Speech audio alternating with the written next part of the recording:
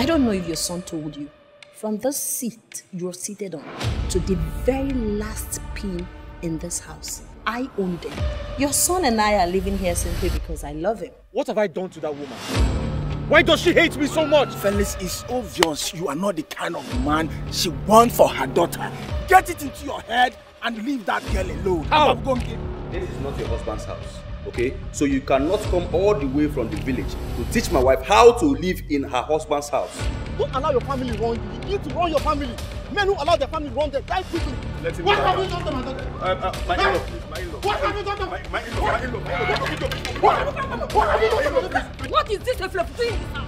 Mama, why are you embarrassing my sister now? Shut up your mouth. Mama, if you don't allow me to go to the village, I will tell everybody my mission here. I'm sorry, I won't be a slave in my own house. You don't understand. You know how my mom behaves. I am warning you for the last time. Leave me and my daughter alone. I did not raise up a mugu. You have become one. You are You are You are